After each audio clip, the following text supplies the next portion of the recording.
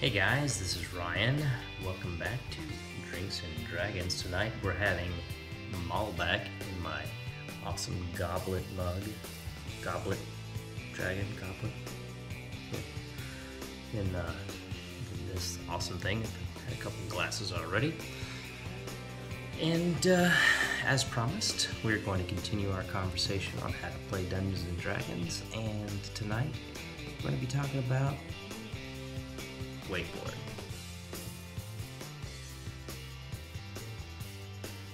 Magic. Oh yeah. It's on.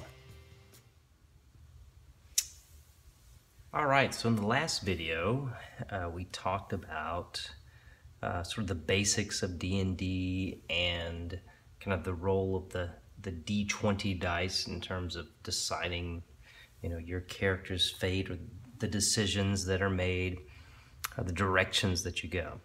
And um, the next big topic we should really delve into, I think, is magic. And this is this is supernatural magic here. This is Harry Potter, Lord of the Rings, casting spells, making things happen kind of magic. This isn't Penn and Teller and uh, you know David Blaine stuff. This is actual magic, throwing fireballs, you know, using some cool stuff, uh, walking through walls, that kind of craziness. So this is the magic that we have accessible to us in D&D. And so no conversation to me about magic is complete, or should begin rather, without first talking about the classes of creatures, uh, of characters that can actually use magic. So it's almost easier, here, here are the classes. It's almost easier to mention the ones that can't use magic because most of the of the the characters in a Dungeons and Dragons adventure can use magic.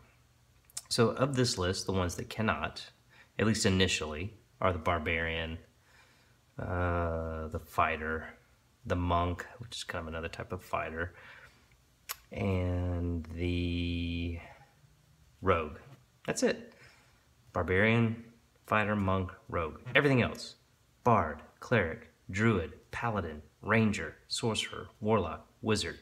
All these guys have magic accessible to them at varying degrees, and even some of them, such as the rogue, for example, will have magic accessible to them as they get more advanced. So, inevitably and eventually, you're going to want to deal with magic, understand it, and embrace it because it makes the game awesome.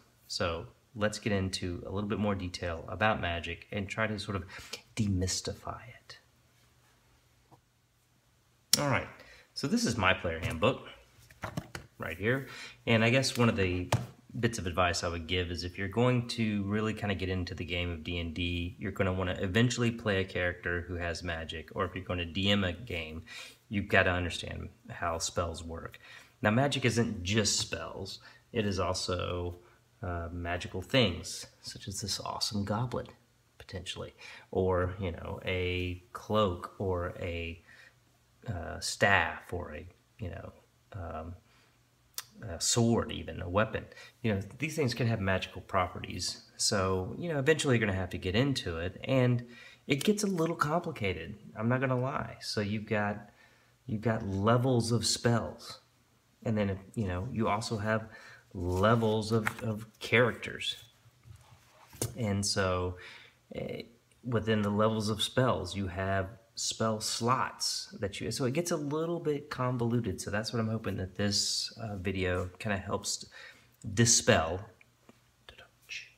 those myths about, uh, you know, using magic in D&D. It does take a little bit of a learning curve, probably a little higher learning curve than other areas, but once you get it, it's awesome because look at this. These are the bard spells that you can cast.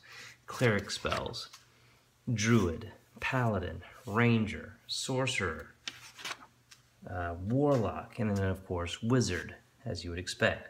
So each of these represents a spell, and if we keep flipping through the, the player's handbook, we can see all of these spells have their own sets of you know, casting time and components and duration and characteristics. I mean, the player's handbook is full of details on these really, really cool spells.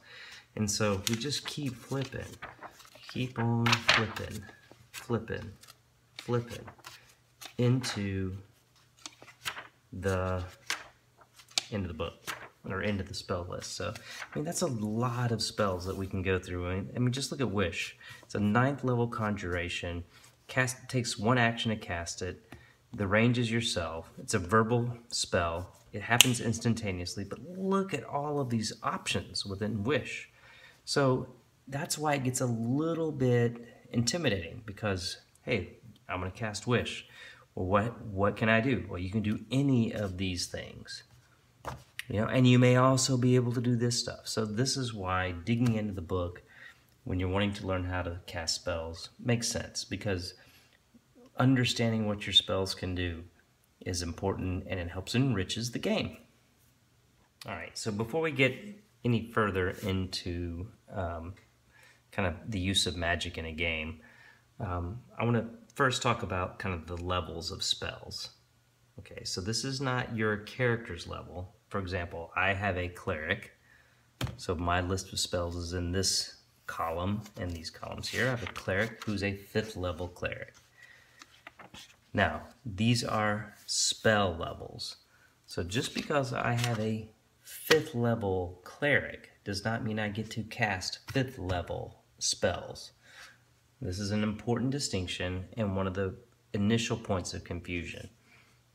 These are fifth level spells. Again, not to be confused with the level of your character. Now, if I flip back to my character, and this is why you kind of get used to kind of flipping back and forth in the book, and I have my tabbed. So here's the cleric section. I kind of know this already. So if I'm a fifth level cleric, which I am, this table here tells me the number of spells in their particular spell level that I, as a fifth level cleric, will get to cast. So if I'm a fifth level cleric, let's just kind of fast forward through the features and the proficiency bonus. I know four cantrips, which are the lowest level of spell. I know four and can cast, sorry, four first level spells. I can cast four cantrips and four of these. I can cast three second level spells, three of these, and I can cast two third level spells, two of these. All right, and the third level column continues on the other end. So first point of distinction, you, as long as you separate you know, class level from spell level, you're okay. Okay? That's, that's the first big point of uh, sort of confusion. Second point of confusion is the idea of a spell slot. Okay, so um, these are the number of spell slots that I get at a particular class level. So I might know more third level spells. And in fact, I will know more second level and third level spells as I continue to advance in a as a level in my particular domain but I can only in any given sort of set of adventures um, expend the number of spells or use number of spells that are equal to the number of spell slots that I have available to me. Okay. So, so back to spells. I was getting a little ahead of myself, and like I said, I've had a couple of glasses of uh, Malbec already in my cool dragon goblet. So, it, this is probably not the right beverage to be imbibing upon when one is describing spells, but it's cool. Um, yeah. So here I've turned to the chapter in on spell casting, which actually does a good job of kind of explaining what's up. So it says, regardless of how many spells a caster knows or prepares, he or she can only cast a limited number of spells before resting, and that is your spell slot. So I go back to my cleric page here, I can see that say I'm a fifth level cleric, I, you know, I might be able to only, I'm only going to be able to cast two spells at third level. And if I, I'm a light domain cleric, so you can see here, uh, I automatically get Flaming Sphere and Scorching Ray as a light domain cleric. And I also get Daylight and Fireball. Okay, but I also get other spells. If I look here, so that's a lot already to choose from, right? But if I look here, as a cleric at third level, I mean, there's a lot of other spells I can choose, you know. I don't get to know all of these, but I can, irrespective of that, I can only cast, you know, two in any given uh, set of time before I take a long rest. There's kind of a lot going on there. And, and then you begin to see why it's a little bit confusing because there's a spell level, there's a spell slot, and then exclusive of that are these cantrips, which you can cast at any time, but cantrips are sort of low level, lower level. They're kind of cool things, like I can change my eye color, I can make the ground shake, I can boom my voice, um, I can actually cast some attacks that don't do a lot of damage. So these cantrips are things that you can do without having to spend a spell slot. And uh, so, so magic gets a little bit you know dicey uh, when when you get down to it. All right, so the one final piece of the puzzle here is well, okay, fine. I get I have only a certain number of spell slots I can spend, and uh, I get that you know I've got a certain level as a class, which is not necessarily related to the spell levels that I'm using. So how many spells do I get? Ah, how many spells? Okay, so here we go. You go to your class. Here I am again in classes. I'm looking at cleric, and it says here, these are the number of spells total that I can prepare to use. The list of spells that are available for me to cast as a cleric is equal to my wisdom modifier, which is a plus three, plus my cleric level, which is a 5. So 5 plus 3 is 8. 8. So I have 8 spells of first, second, and third level, which are available to me as a cleric to use. Now I'm a 5th level cleric.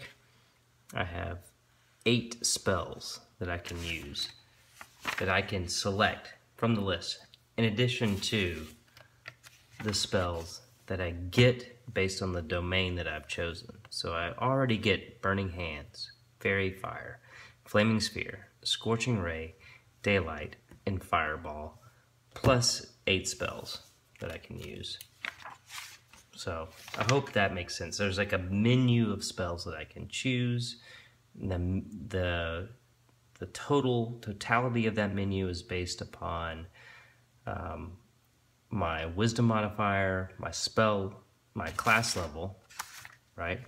My wisdom modifier, my class level, and then also on the menu are the spells that I get automatically based upon whatever domain that I am. And this is different for each class, so I encourage you to, to dig into the class that represents the character you're playing and kind of get into the, you know, dig into it, get into the nuance of this thing and learn these spells because I gotta tell you, they can be so unbelievably cool when cast correctly and when cast creatively. Um, so yeah, magic. So I hope that helped you understand a little bit how magic works. Uh, opens up the doors for you to explore magic, to have fun with it. And look, it'll get easier the more times you play. Bottom line, it's the same thing with all of this stuff. So, so play the game, select characters, you know, that use magic, uh, and test the stuff out, follow the instructions in the book, roll the dice, be creative, and ultimately have a good time. So from Drinks and Dragons, this is Ryan, signing off.